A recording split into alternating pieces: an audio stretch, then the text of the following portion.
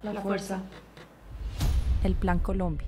Fue una estrategia de Washington y Bogotá de lucha antidrogas a finales de los 90. Hasta 2004, Estados Unidos había destinado 2.800 millones de dólares para el Plan Colombia, pero resultó un fracaso. El cultivo de coca creció exponencialmente. Los índices de violencia aumentaron. La presión norteamericana llevó a duplicar en México el llamado Plan Colombia y se tradujo en Iniciativa Mérida en marzo de 2007. La Iniciativa Mérida fue un tratado internacional establecido por Bush con México y otros países de Centroamérica para supuestamente combatir el narcotráfico y el crimen organizado. De Estados Unidos estuvieron involucradas la CIA, el Departamento de Estado y el de Justicia, el Consejo Nacional de Seguridad, el Pentágono, el FBI y la Administración de Cumplimiento de Leyes. Por parte de México participaron el Congreso de la Unión, la Secretaría de Defensa Nacional, la Procuraduría General de la República y el Centro de Investigación y Seguridad Nacional. Y en el sexenio de Felipe Calderón, el operativo federal no logró la captura de los principales capos. No desarticularon los cárteles de la familia michoacana y los caballeros templarios, sus grupos hegemónicos entre 2006 y 2012. Y el 98% de las acciones criminales quedaron en la impunidad. En un informe de 299 páginas publicado por Human Rights Watch en 2011, titulado Ni seguridad ni derechos, señaló que en el marco de la guerra contra el narco, militares y policías mexicanos cometieron violaciones de derechos humanos. Según Human Rights Watch, existen evidencias de que miembros de las fuerzas de seguridad participaron en 170 casos de tortura, 39 desapariciones y 24 ejecuciones extrajudiciales, desde que Calderón asumió la presidencia en diciembre de 2006. El informe también tiene evidencias de que en muchos casos han adoptado medidas para ocultar sus delitos. Un estudio del Independiente Consejo para la Ley y la Seguridad Pública señaló que el 90% de las personas secuestradas por cárteles de la droga nada tienen que ver con esa actividad. Por varios años consecutivos, 2008 y 2009, Ciudad Juárez llegó a ser la ciudad más violenta del mundo.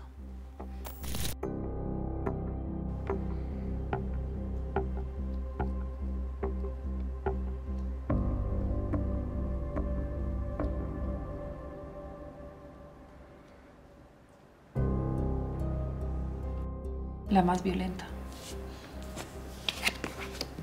La más violenta. En diciembre de 2006, cuando inició el gobierno de Felipe Calderón, se cometieron 178 asesinatos. En 2007, 2.673. En 2008, sumaron 5.630. Y en 2009, contabilizaba entonces el periódico El Universal 6.525. La noche del 30 de enero de 2010, un grupo de estudiantes de bachillerato celebraba una fiesta de cumpleaños en el fraccionamiento Villas de Salvarcar, en Ciudad Juárez. Allí fueron atacados a balazos. Al menos 20 sicarios descendieron de cuatro vehículos, ingresaron al sitio y dispararon. 15 personas murieron. 10 más quedaron lesionadas, entre 15 y 20 años. Calderón criminalizó a los estudiantes asesinados, diciendo que todo se trataba de un ajuste de cuentas. Fueron cobardemente asesinados probablemente por otro grupo con quien sostenían, es una de las hipótesis que se investigan, cierta rivalidad. Los familiares de los jóvenes, en su mayoría buenos estudiantes y deportistas, colocaron sobre los ataúdes abiertos unos folios en los que exigían a las autoridades justicia y respeto. En febrero de 2010, Calderón fue recibido con protestas en Ciudad Juárez. Cientos de manifestantes llevaban pancartas y gritaban, asesinos, asesinos. Una madre de dos de las víctimas increpó llorando a Calderón. Sí, no, no, discúlpeme, señor presidente. Yo no le puedo decir bienvenido porque para mí no lo es. ¿sí? Nadie lo es. Porque aquí son más de dos años que se está cometiendo asesinatos, se está cometiendo muchas cosas y nadie hace nada. ¿sí? Y yo quiero que se haga justicia, no nomás para mis dos niños, sino para todos los demás niños. ¿sí? Lo que usted dijo, lo que usted se retracte de lo que quiero. ¿Sí? Lo que usted dijo, que eran pandilleros, mentira. Dice, uno de mis hijos estaba en la UASH, ¿sí? y el otro estaba en la prepa. Nosotras pedimos justicia. Le pido que se retracte, señor presidente, por decir que nuestros hijos eran pandilleros.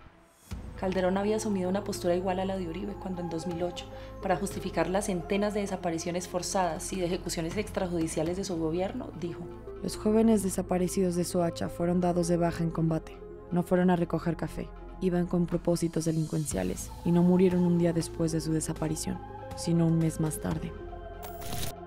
Al concluir el gobierno de Calderón, ni la iniciativa Mérida ni el resto de la política contra los carteles de la droga pudieron calificarse de exitosos. 95% de la cocaína consumida en Estados Unidos siguió pasando por México, y los carteles mexicanos mantuvieron su posición como los principales proveedores externos de anfetaminas y marihuana de ese país, según lo afirma un estudio de la Universidad de Harvard de 2012, titulado The War of Mexican Cartels, Option for United States and Mexican Policy Markers. En cambio, las víctimas sí crecieron y fueron el costo más grave en la guerra contra el narcotráfico antes del 2006, aunque ya habíamos tenido casos en la época de la Guerra Sucia. La desaparición no era un fenómeno tan dominante en México. Como lo ha sido en Colombia, querrás decir. Así es. Había asesinatos, pero las desapariciones no eran masivas.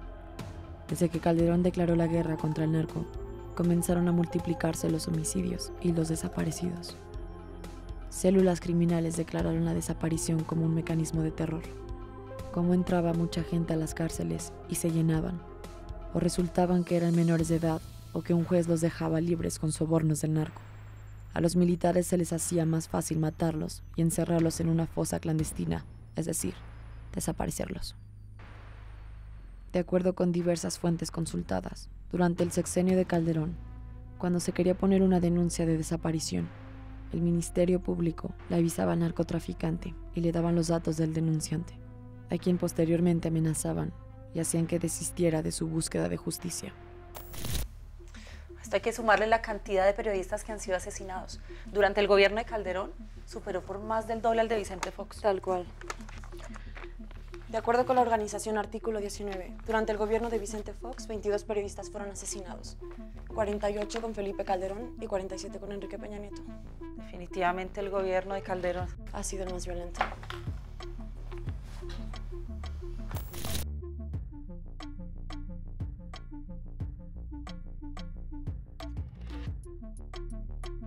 El diablo. El diablo al derecho, que significa tentación, adicción y una búsqueda agresiva por las posesiones terrenales, un anhelo extremo de riqueza y poder. También indica la falta de principio y la falta de humor, salvo a expensas de otros. Nos muestra también la violencia y desastre. El diablo. En una sola palabra. Calderón. Las reformas estructurales implementadas en el gobierno de Calderón, tales como la reforma energética, reforma laboral, reforma al sistema de salud, reforma en telecomunicaciones y radiodifusión, reforma educativa, entre otras, generaron mayor descontento popular y una serie de movilizaciones por parte de los sectores mayormente afectados, ya que violaron los derechos a la salud, la vivienda, la educación y la tierra, así como los derechos laborales, solo por mencionar algunos. Así lo señaló un informe de la ONU. Las matanzas estudiantiles y la guerra sucia en los años 60 quedaron impunes a pesar de la presión de sobrevivientes, activistas estudiantiles, el Comité del 68 e intelectuales. Lograron que durante el gobierno de Vicente Fox, entre el 2000 y el 2006, se creara la Fiscalía Especial para Movimientos Políticos y Sociales del Pasado. Pero no se hizo justicia contra los victimarios. Y el gobierno de su sucesor, Felipe Calderón, la desapareció en 2007. Genaro García Luna. Le decían de niño el maldito, de joven el chango. Su madre quiso testificar en la policía contra él, amigo de la juventud de los Calderón. En la guerra del narco, un triple agente de los Estados Unidos de América, del gobierno de México y del cártel de Sinaloa. De los 11 años. Fue contratado por los agentes de la extinta Dirección Federal de Seguridad. Tuvo sus primeros roles de inteligencia para espiar a comerciantes. A los 17 años le forman una pandilla que después se convierte en una banda de asaltantes especializada en robos a casas habitación y a los 17 años da su primer gran golpe y se hace millonario. Tuvo una carrera exitosa y ascendente en las fuerzas de seguridad del Estado. Y los carteles de narcotráfico. Iniciando a los 21 años como agente del Centro de Investigación y Seguridad Nacional, CISEN, donde conoció a su esposa Linda Cristina Pereira. Ocupó de 1999 al año 2000 el cargo de Coordinador General de Inteligencia para la Prevención de la Policía Federal Preventiva, PCP, creada durante el gobierno de Ernesto Cedillo. En diciembre del 2000 fue nombrado director de Planeación y Operación de la Policía Judicial Federal. Allí se ganaría la atención de Vicente Fox, quien anunció la extinción de la Policía Judicial Federal y en su lugar, para luchar contra el crimen organizado, creó la Agencia Federal de Investigación, AFI, nombrando en la dirección a García Luna.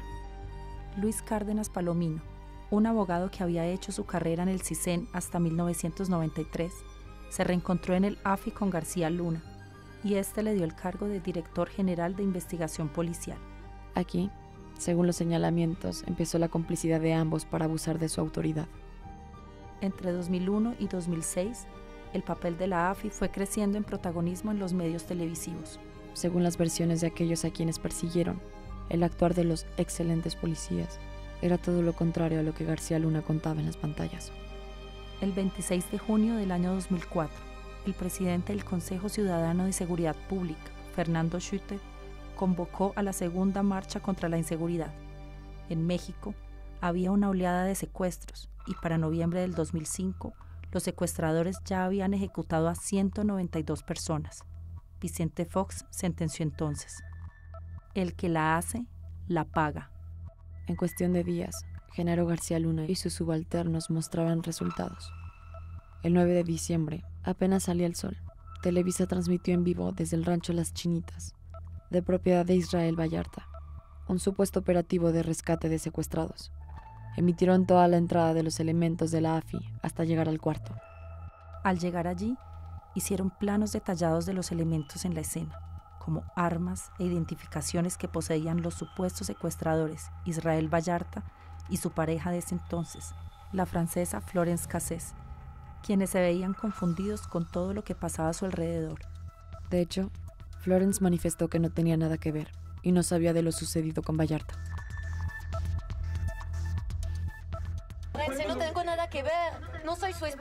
Yo no, no sabía nada. ¿Quién es usted? ¿Qué hacía aquí? ¿Quién es usted? ¿Qué hacía aquí? ¿Cómo? ¿Qué hacía usted aquí? Eh, eh, ¿Sabe que aquí había tres personas secuestradas? No, no lo sabía. Al lado. Cuando el periodista interrogó a Vallarta, se escuchó la siguiente conversación. No, yo no ordené nada. A mí me ofrecieron dinero para prestar mi casa. A mí me pagaron. En algún momento Vallarta intentó decir que lo habían golpeado el periodista le preguntó, ¿quién le pegó? Y Vallarta giró su cabeza a la izquierda y respondió, nadie. En ese mismo momento, así quedó registrado en la transmisión. Una mano detrás de su nuca estaba presionando a Vallarta para responder correctamente ante la prensa. ¿Quiénes son las personas que tienes aquí secuestradas? No, conozco. ¿Hay un menor de edad? Sí. ¿Dónde lo secuestraron? ¿Te duele algo? Sí, sí. ¿Te lastimaste ahorita en la, Usted me pegó. Perdón. ¿Quién le duele? Nada, señor. ¿Quién le pegó? Nadie. Es la mano de Luis Cárdenas Palomino, el amigo y socio de García Luna. Ante la inminente presión, García Luna reconoció que el operativo fue recreado y que las detenciones se habían hecho un día antes,